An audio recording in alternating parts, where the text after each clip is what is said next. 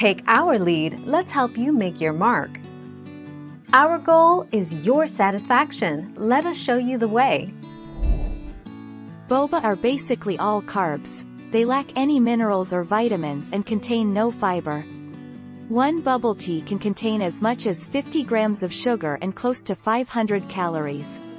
While one bubble tea here and there is unlikely to have severe effects on your health, it should absolutely not be consumed on a daily basis.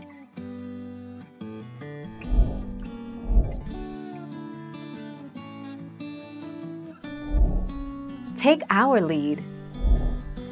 As EBC Dongsen News reports, the director of Zhuji People's Hospital's emergency department said that boba, being made of tapioca starch, are already difficult to digest.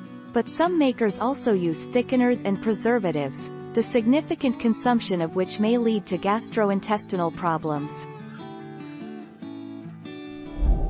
Thank you for watching. Please subscribe and hit the bell notification.